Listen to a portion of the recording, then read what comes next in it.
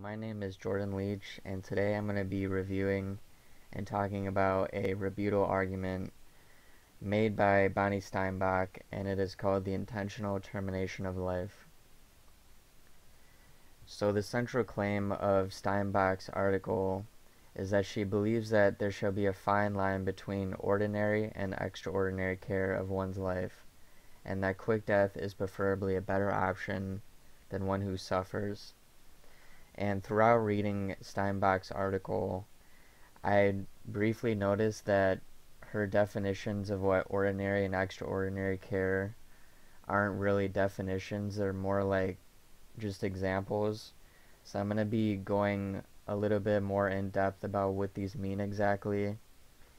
And her central claim is just talked about briefly towards the beginning and scattered around through the article and you'll see a little bit more about what I mean by quick death is preferably a better option than one who suffers. So, ordinary and extraordinary care are two opposites of each other.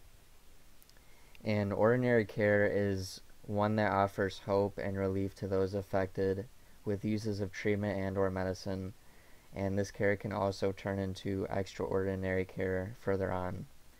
And what I mean by this is like ordinary care is typically um, the most common type of care that you'll see if you're a patient and you go into like a hospital or a treatment center. This is typically the most common care that you'll see because doctors and whoever's representing the patient will give the patient like the best options and the best hope. And if something's like unreasonable to save the patient's life, then this is what extraordinary care would be. It's care that does not give reasonable hope for those affected, and treatment or medicine cannot be reasonable to use. Now, every situation of a patient coming in um, for care is different. And in certain circumstances, there could be a patient who just doesn't have enough, um, let's say, like cells to survive based off of like cancer. And so, if this were the situation, the doctor would essentially say, there's like nothing we can do, or there's not treatment or medicine that we can use to help you prolong your life or to help you survive. So these two types of care are just essentially opposites of each other and they each take place within different situations. On the treatment morals, the main purpose of saving or ending one's life based upon circumstances can carry a heavy opinion and moral on people in certain circumstances, it is vital to discontinue treatment rather than carrying on a surviving prolonged life. Ending treatment is not a result and main purpose of wanting to terminate a life, and moreover, it is resulted from circumstance or chance. So, this slide is a lot about what I talked about in the previous slide, and that Steinbock pretty much makes it clear that it's not worth continuing on a suffering life if that suffering life does not have to basically suffer anymore. And she talks about this with a couple of examples and a few definitions here and there. But she has a, a strong like rebuttal argument to say that it's not worth carrying on a suffering life basically. For my real world example, I included a situation with a woman who has breast cancer. And in this example, it would be reasonable for a doctor to give ordinary care by giving the best and highest success rate of options for treatment to the woman. Otherwise, extraordinary care would take place and that the doctor would issue an incorrect treatment or show signs of no hope for recovery or treatment at all in this specific example. So, just like the cancer example I talked about earlier, extraordinary care for a lot of those situations where people have very late stages of cancer cannot really have much options for treatment. I mean, there can be options for treatment, but the chance of survival and the survival rate is getting lower and lower the more that you prolong a patient with cancer.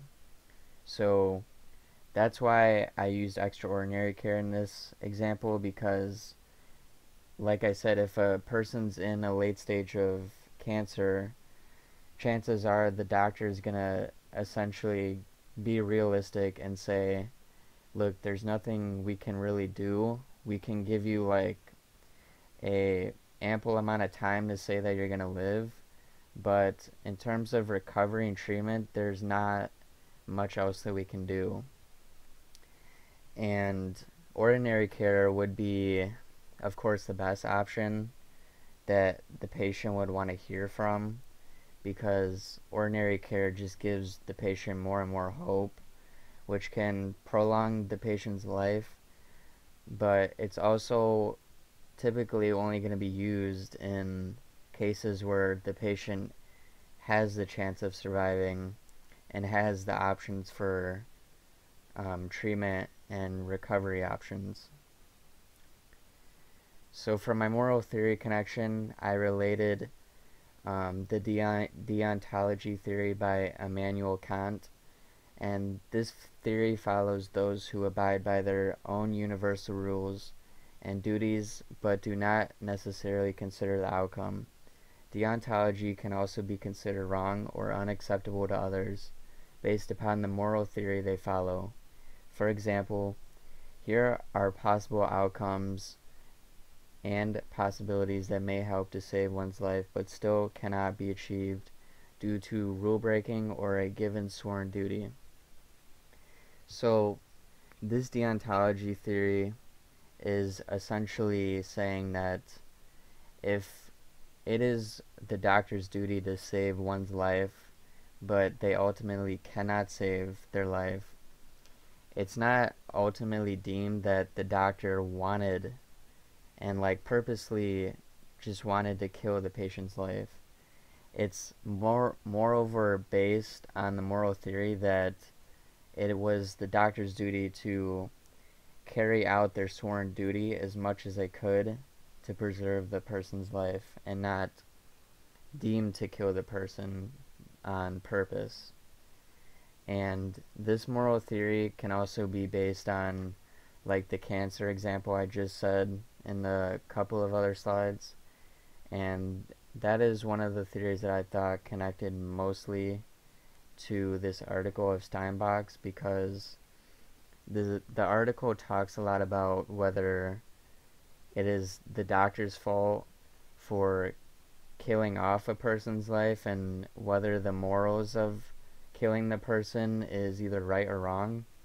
And with this theory, it essentially explains that it could be either right or wrong, but there's also rules and duties portrayed by the doctor that give the doctor the the essential reasoning as to why they cannot save or end one's life.